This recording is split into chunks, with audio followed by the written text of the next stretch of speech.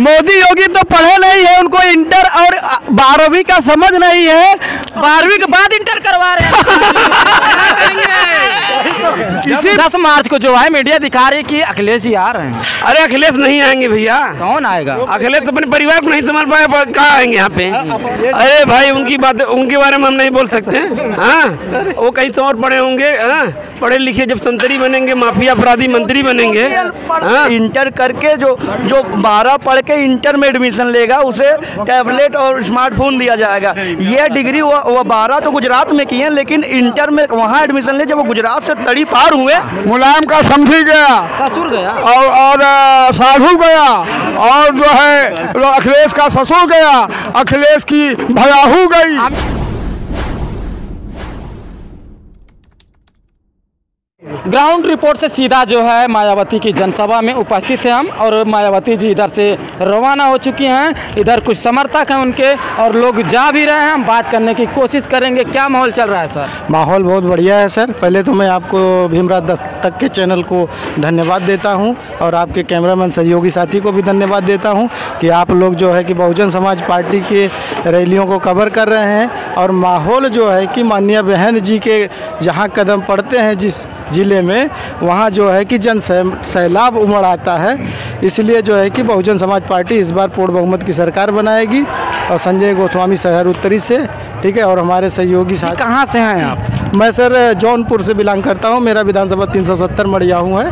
लेकिन जो है कि मैं यहाँ शिक्षा दीक्षा का कार्यक्रम इलाहाबाद से प्रिपरेशन चल रहा है। तो हम लोग जो है बहुजन समाज पार्टी के समर्थक भी है। जहाँ जनसभा होती है वहाँ पे हम लोग जो है कि पहुँचते हैं। क्या कहेंगे सर? माहौल कैसा लग रहा है? जौनपुर से चल के आए हैं। आप कहाँ से हैं? मैं हंडिया विधानसभा से हूँ ग्राम सभा दमगड़ा से कमलेश कुमार गौतम हंडिया तो जो है बसपा का गढ़ माना जाता जी है। बिल्कुल हंडिया हंडिया से नरेंद्र कुमार त्रिपाठी हम लोग जिता रहे हैं और पूरी पूर्ण बहुमत के साथ जिता रहे हैं। ठीक है सर।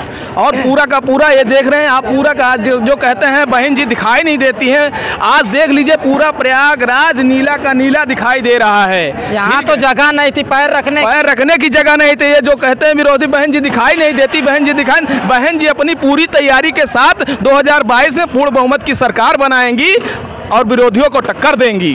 हाँ डर है बिल्कुल डर है। क्योंकि माननीय बहन जी जो है कि जैमर लगा के जो है कि नेटवर्क जो है कि सोशल मीडिया के माध्यम से मेन स्ट्रीम मीडिया पहले तो खोजती थी कि कहाँ है मायावती अपने डिबेट्स में लोगों को लेकिन अब मीड मेन स्ट्रीम मीडिया जो है कि दिखाती ठीक है, ही नहीं। वो दिखाती ही नहीं जैसे कि मान लीजिए एक एक पत्रकार का नाम भी हम लेंगे वहाँ पे अंजना ओम कश्यप जिसको बोलते हैं लोग ठीक है वो बहुत मायावती जी को खोजती थी लेकिन आज जो है कि उसका चैनल जो है कि यहाँ इलाहाबाद प्रयागराज के पी ग्राउंड में उपस्थित नज़र हम आपको मैं सर बता देना चाहता हूँ कि हमारी जो सरकार रही पिछली सरकार 2007 से 2011 बारह तक ठीक उसमें जो है कि जो मेन स्ट्रीम मीडिया का जो अहम रोल है हमारी सरकार को जो है कि नेगेटिव बहुजन मीडिया को जो है लोग पूछते भी नहीं हैं क्या कहेंगे? नहीं बहुजन मीडिया भाई हमारी मेन मेन स्ट्रीम हमारी तो मेन स्ट्रीम है। बहुजन की main stream media Bahujan media है ठीक है? तो मैं इन लोगों को धन्यवाद देता हूँ। और जो है कि जहाँ जहाँ हमारे प्रत्याशी ठीक है? क्या नाम है आपका? मेरा नाम ओम प्रकाश सरोज है। कहाँ से हैं? मैं जिला कौशाम्बी तहसील मंझनपुर से हूँ। कौशाम्बी से आए हैं और एससी समाज जो है खासकर पासी जो है सपा के साथ जा रहा है सब। नहीं सपा के साथ नहीं है मैं एक पासी समाज से हूँ मेरा ओम प्रकाश सरोज नाम है और मेरे यहाँ से मैं जानता हूँ बहुत भली बात जानता हूँ इंजी सरोज जी को और वो भी बहुत अच्छे अच्छी तरीके से मैं उनका जान, जानता हूँ। लेकिन अब यहाँ रहे मलाई खाए उसके बाद जो है कि जब जब बन गए पेट फूल आया उनका तो बहन जी को छोड़ करके चले गए। ये उनका कहना है उनका कहना है लेकिन मेरे मंझनपुर विधानसभा से कोई ऐसा पासी नहीं है कि दलाल दलाल लोगों की बात मैं नहीं करता हूँ। नीतू कनौजिया जी हैं जी जी नीतू कनौजिया डॉक्टर नीतू कनौजिया बहुत भारी मतों से विजयी होगी। आप लोग निश्चित रहिए। और मैं ये ये और ये मैं उनको कहना चाह रहा हूँ माननीय मंत्री जी से कि आप लोग गफलत में मत रहिए कि पासी समाज मेरे साथ है, पासी समाज मेरे साथ है, पासी समाज मेरे साथ है।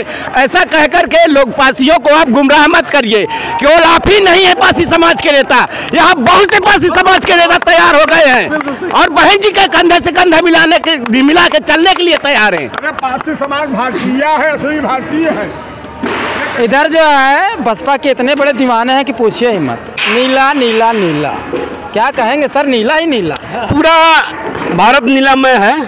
और हम उत्तर प्रदेश में नहीं पंजाब में भी सरकार बनाने जा रहे हैं। उत्तर प्रदेश में उत्तराखंड में भी बनाने जा रहे हैं। हमारे बिना हमारे पार्टी की बिना किसी सरकार नहीं बनेगी बनेगी। उत्तर प्रदेश में मैं पूर्व के साथ आ रहा हूँ। दस तारीख के क्या चुनाव परिचय है सर? मेरा नाम विनोद कुमार अंबेडकर है। मैं रहने वाले गोरखपुर से हूँ। क्या करते हैं सर? मैं एडवोकेट हूँ। हाँ पैसे से अधिवक्ता हूँ। योगी सरकार में एडवोकेट को भी जो है धरना देना पड़ रहा है। अरे पूछिए मत। एडवोकेट ही नहीं नौजवान छात्र हर लोग परेशान हैं। हाँ और आने वाले 27 तारीख को इलाहाबाद के जो तमाम युवा मतदाता हैं ये सोच ये सोच समझ के वोटिंग करें और पूर्व बहुमत में 10 तारीख को हम सत्ता से बाहर निकाल फेंकेंगे। इधर जो है मंडल का कार्यक्रम था फिर भी कौसाम्बी से कहीं जौनपुर से कहीं आजमगढ़ से कहीं अंबेडकर नगर से लोग आए हुए थे और काफ़ी सफल रहा है कार्यक्रम। और बसपा की दीवानगी ने जो है खींच लाई है क्या कहेंगे सर? ये हम लोग कैडर के वोटर हैं और बहुजन समाज पार्टी कैडर में विश्वास करती है। अब ये गोदी मीडिया है जो समंत गोदी गोदी मीडिया है जो दिखा नहीं रही है। और आप लोगों के मीडिया के माध्यम से अभी जहाँ हमको 10 15 20 25 दिखाना दस दस मार्च को जो है मीडिया दिखा है कि अखिलेश जी आ रहे हैं। अरे अखिलेश नहीं आएँगे भैया। कौन आएगा? अखिलेश तो अपने परिवार को नहीं संभाल पाए पर कहाँ आएँगे यहाँ पे? हाँ? हाँ? अखिलेश अपने परिवार को नहीं संभाल पाए। ससुर भी गया हाँ। भाजपा में। और देख लीजिएगा दस तारीख को समझी गया। कौन कौन गया? मुलायम का समझी गया। ससुर गया? और और साधु गया। और जो है अखिलेश का ससुर गया। अखिलेश की भयाहू गई। अमित शाह जी जो है बारहवीं करने के बाद जो इंटर में एडमिशन लेगा उनको लैपटॉप टेबलेट बांटने को बोल रहे हैं। अरे भाई उनकी बात उनके बारे में हम नहीं बोल सकते।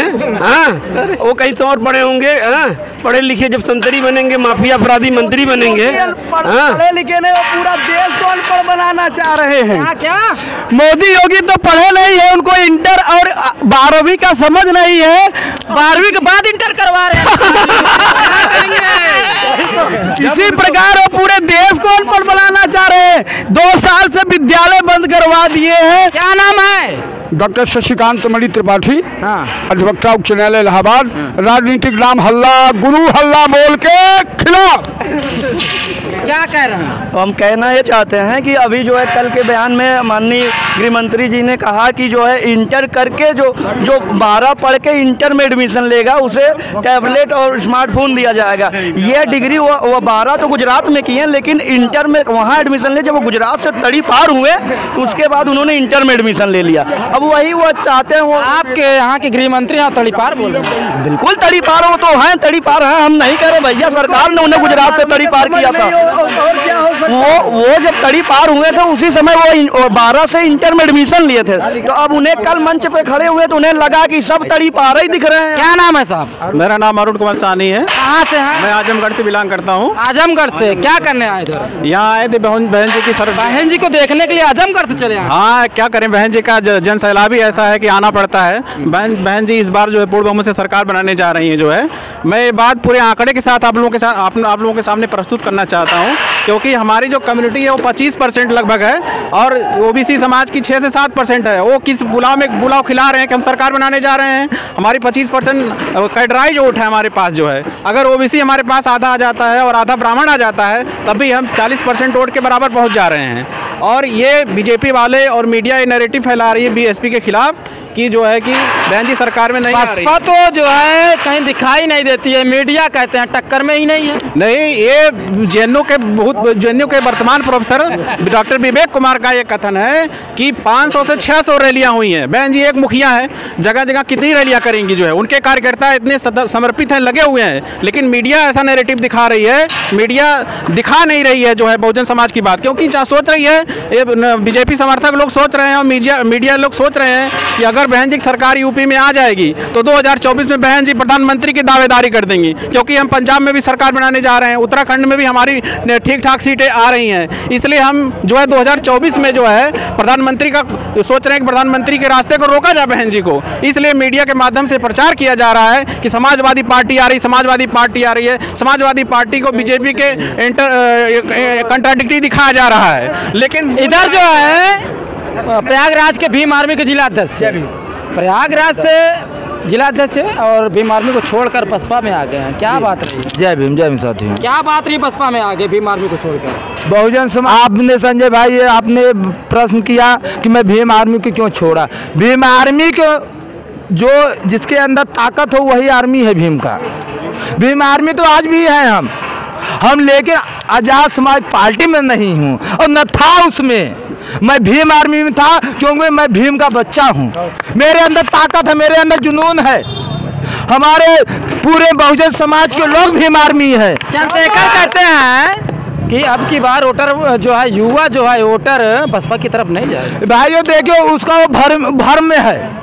वो चंद्रशेखर का वो भर्म में है। हमें लगता है कि अब पार्टी नाम से आएगा तो एक चाय भी नहीं पाएगा अपने समाज। पचासी वाले मिल जाए तो पंद्रह वाले कुछ उखाड़ नहीं सकते हैं। पंद्रह वाले भी तो आपके पार्टी में आ रहे हैं ना? पार्टी वाले आ रहे हैं तो फूट डाल के राज करते हैं। जैसे की भारतीय बहुजन समाज पार्टी के जो उठे हैं आज भी जो उठे हैं बहुजन समाज पार्टी से वो दरबदलू नेता हैं। जैसे कि इंद्रजीत सरोज आज बने, बनते हैं, बहुजन समाज पार्टी से भागते हैं भाजपा में तो दरबदलू नेता का कोई ठिकाना नहीं है। इधर इलाहाबाद में सभी जिलों से लोग आए थे, मंडल का कार्यक्रम था, बसपा की दीवानगी ये है, चाहे वो अंबेडकर नगर हो, चाहे विंध्याचल हो, चाहे आजमगढ़ हो, चाहे इलाहाबाद हो, चाहे जौनपुर हो, चाहे गाजियाबाद से।